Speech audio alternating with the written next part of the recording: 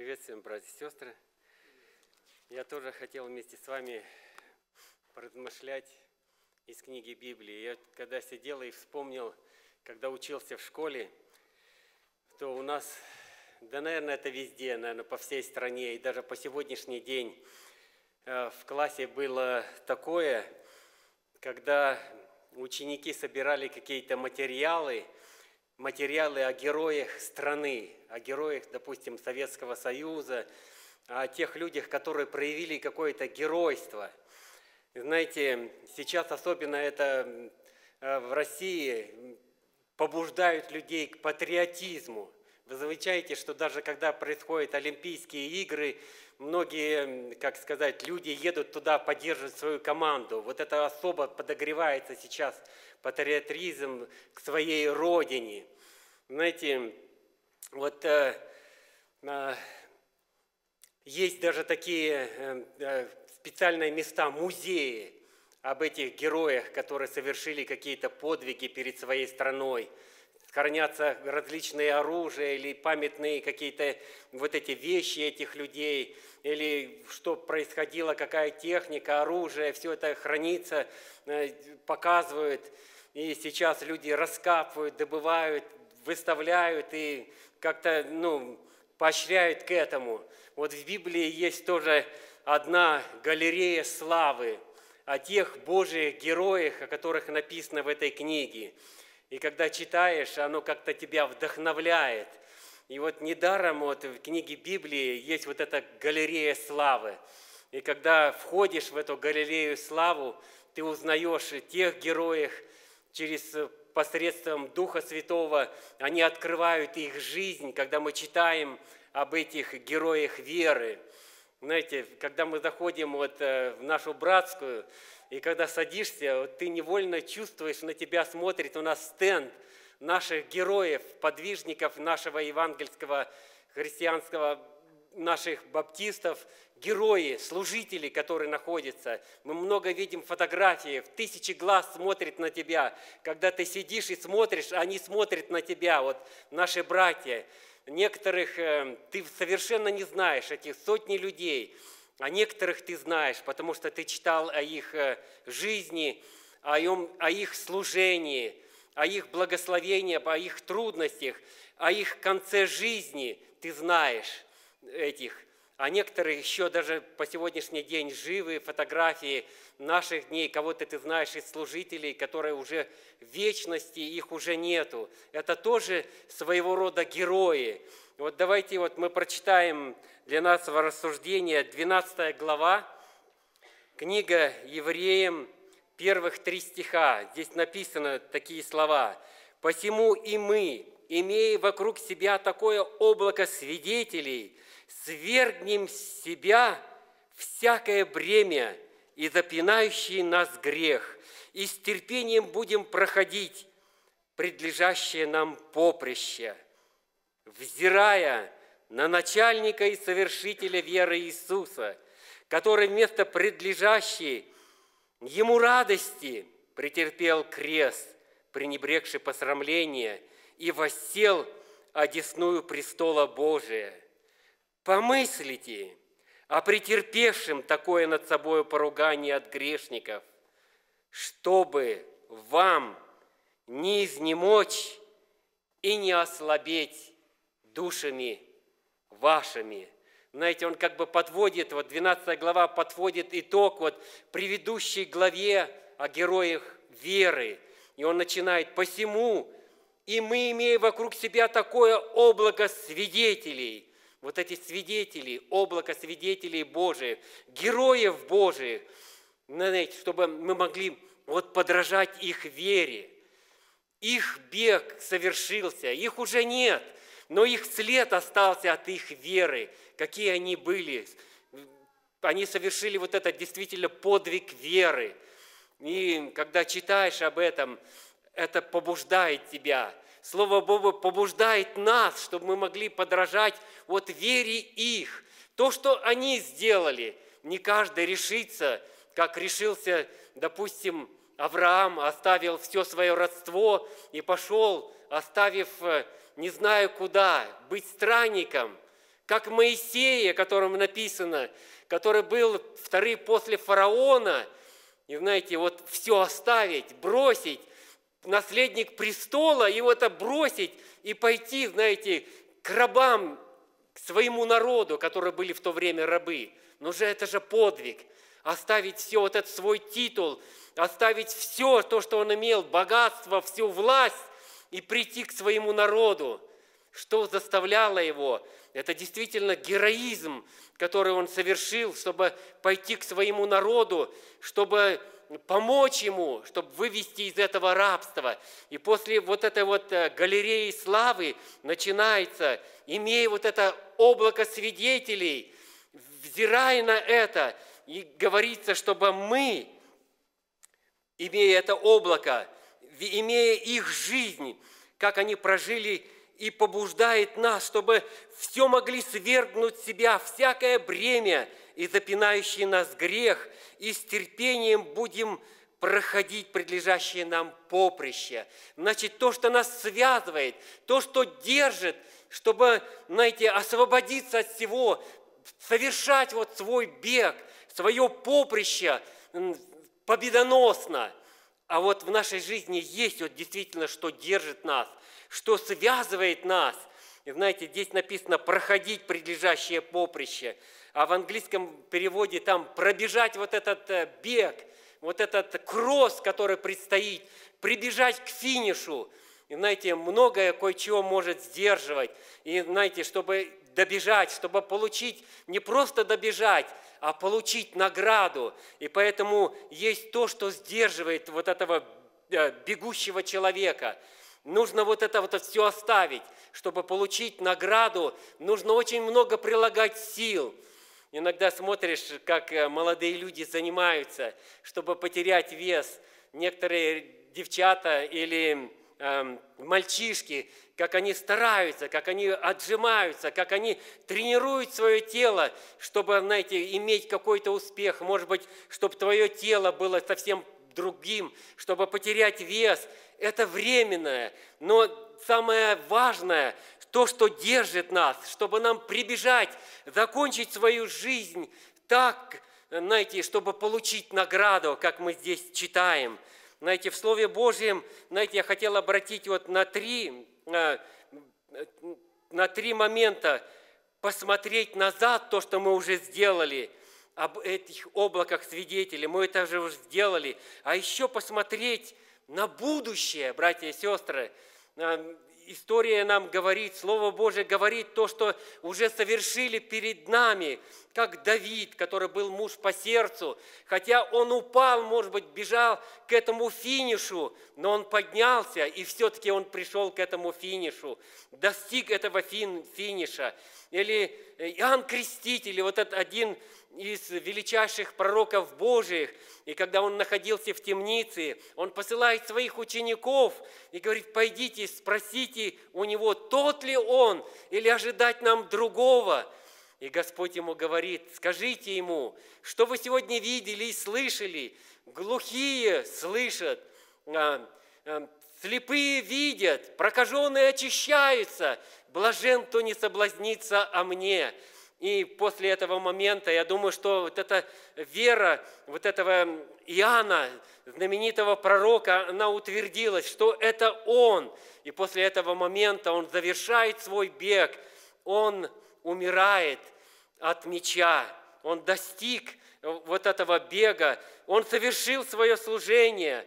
Или Стефан, вот этот молодой человек, совсем молодой человек, но Бог его пользовал, и он совершил, так э, закончил свою жизнь, закончил свой бег совсем молодым человеком, и Господь Иисус встречал его. Столько много таких людей, знаете, это можно было продолжать не только вот из этой книги Святой Библии, а даже о простых людях. Знаете, в вечности мы узнаем, это будет совсем другая, может быть, галерея славы, и не такие, как вот в 11 главе евреям описано, а такие, может быть, дедушки и бабушки, которые не захотели отреться, отречься от своего Господа и пренебрегши э, забыли о своей семье, чтобы остаться верным, они умерли. И сколько было предложено, или Иисус, или смерть. И многие выбирали трудности этой жизни, и они там полегли своими костями.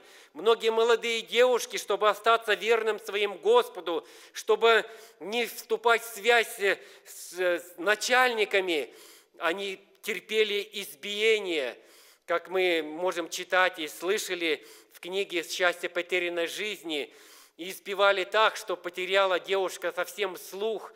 И она радовалась Господом, она была верной Господу до конца своей жизни. Сегодня у нас предстоит вот этот бег, который мы совершаем. Сегодня мы с вами. И где вот наш бег остановится? Достигнем ли мы галереи славы? Или, может быть, будем находиться у порога в Царстве Небесном, как головня из огня, как хотелось, чтобы вот мы могли подражать вот этой вере нашим братьям и сестрам, совершать бег свой с радостью. Потому что в Евангелии и в Новом Завете много таких мест, поощряющих нас остаться верным Господу в этом изобилии, в котором мы сегодня живем. Знаете, когда читаем книгу Откровения, вот послание семи церквам, каждой церкви, кто останется верным, им будет награда. Братья и сестры, там Господь будет раздавать награды, и они будут разные, как вот в каждой церкви э, своя награда, когда мы читаем Э, в Откровении 2 глава 10 стихом, «Не бойся ничего, что тебе надобно претерпеть. Будь верен до смерти, и дам тебе венец жизни». Смотрите, это награда, венец жизни. Венец – это хорошо, это красиво. Или венец, смотрите, другой. «Дам вкушать тебе от древа жизни». Это тоже награда для церкви э, победивший не потерпит вреда от второй смерти, тоже награда. Или новое имя, которое никто не знает, это тоже награда победившему. Власть над язычниками – это тоже награда. А смотрите, побеждающему дам белые одежды. Белизна – это красота. Когда мы одеваемся в белое, это как-то нарядность придает красоту, белые одежды. Там мы поем гимны «В белых одеждах ангелы встретят», будут встречать тех, которые прошли свой бег к финишу, не осквернили своих одежд, и они будут в белых одеждах. Будет столбом в храме Бога побеждающий, новое имя и так далее. Сколько еще будет других разных наград тех, которые совершат свой бег с радостью и придут к финишу не с посрамленными лицами. Иногда э, смотришь э, на Олимпиады, бывают такие э, казусы, когда люди, чтобы достигнуть вот этого приза, награды, идут на всякие хитрости. Один бежал к финишу, они были, оказывается, два брата, одинаковые на лицо, и оделись в одинаковую одежду – один бежал и как бы сошел, длинная дистанция, 42 километра, сошел с дистанции как бы по нужде, а другой его заменил, а тот садится на велосипед, обгоняет туда, и перед финишем э, меняются опять, знаете, такое, пришел. Обычно к финишу приходят люди, прямо пробежа такое э, расстояние, люди добегают до финиша, падают от изнеможения. Этот человек прибежал и еще бодрый такой. Начали расследовать. Оказалось, они два брата. Подменили друг друга. У Бога такого никак не получится. Бог знает каждого. Бог знает бег каждого, и Он будет встречать у финишной. Его никак не обманешь. Слава Богу за то, что у нас есть такой Господь чудный. Смотрите, как еще написано Э, что ожидает верующих, которые прибегут к этому финишу. 1 Петра, 1 глава, 3 э, стиха. «Благословен Бог и Отец Господа нашего Иисуса Христа, по великой Своей милости, возродивший нас воскресением Иисуса Христа из мертвых к упованию живому, к наследству нетленному, чистому, неувидаемому, хранящему на небесах для кого? для вас, Как важно нам сохранить вот этот бег и не упасть, не упасть и не остановиться. Нужно бежать, достигнуть этого э, финиша. Смотрите, Исайя 35 глава, 10 стихом, 2 полостишнее. «И радость вечная будет над головою их. Они найдут радость и веселье, а печаль и воздыхание удалятся». Там все это забудется. Все это забудется, кто совершит действительно этот бег, придет к финишу.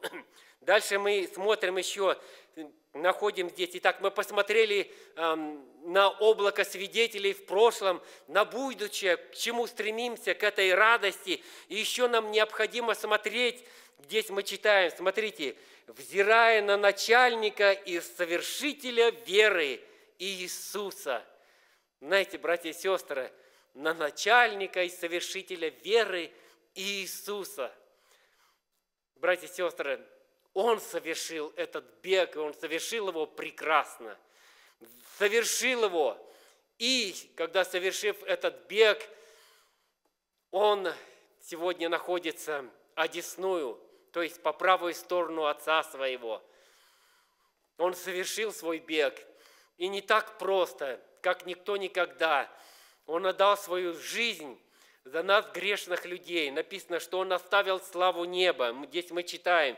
Место, предлежащее Ему радости, претерпел крест, пренебрегший посрамление, восел одесную престола Божия. Знаете, Он оставил вот эту всю славу. То, что имел Он на небесах, чтобы нам помочь, взирая на начальника. Как важно, проходя нам свой жизненный путь, смотреть на Господа Иисуса, как когда Петр пошел по воде, он смотрел на Господа Иисуса. И когда он смотрел, он шел. И как от, только отвернулся, увидев эти волны, ветер, бурю, он стал утопать. Нашей жизни смотря, взирая на нашего начальника-совершителя. Он начало, Он и конец. Он есть дверь в Царство Небесное. Он ходатай сегодня за нас. Он это все прошел. Иногда, может быть, Господи, как ты можешь понять? Ты нас не можешь понять, ты живешь на небесах, а мы здесь на земле, братья и сестры. Он прошел. Он претерпел все трудности, он претерпел гонения, он испытал мученическую смерть, как никто ни другой. Он может понять наш, он наш ходатай, братья и сестры. И как не он, который может нам помочь в трудностях наших. Ибо как сам он претерпел, был искушен, то может и искушаемым помочь, братья и сестры, помочь совершить наш кросс, который мы должны совершить его, придя к финишу. Слава Богу! Иногда в нашей жизни мы можем уставать, иногда опускаются руки, знаете, бывают, приходят трудности, когда тебя не понимают, когда, может быть, бьют по рукам. Знаете, не ослабевать в вере, не ослабевать, продолжать совершать служение, не упасть, не ослабеть, чтобы, как, знаете, у Петра ослабела вот эта вера. А, здесь написано, помыслите о претерпевшем такое над собой порубание от грешников, чтобы нам не изнемочь и не ослабеть. Мы можем изнемочь, можем ослабеть, как Петр, когда он говорил, Господь Иисус говорил нам о своем страдании, об исходе, что его ожидает смерть. Они об этом не думали.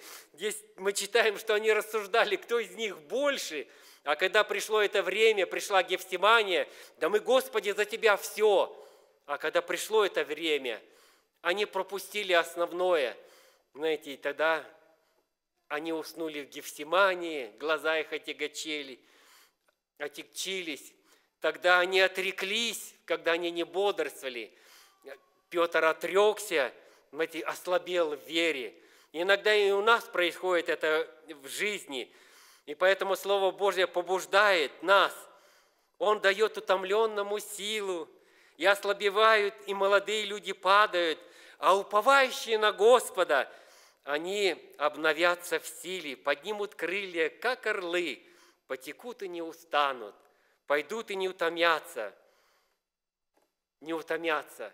Братья и сестры, сегодня мы с вами пошли по галерее славы. На наших э, героев веры от Авеля и, может быть, Моисеем и так далее. О вечности мы, наверное, всегда будем ходить, вот смотреть по этой галерее славы, которых мы никогда не знали. Может быть, простой э, служитель, который, может быть, совсем небольшое образование, но он остался верным. А сколько таковых и мужчин, и женщин, и молодых людей, и даже детей, которые отдали свою жизнь за Господа Иисуса.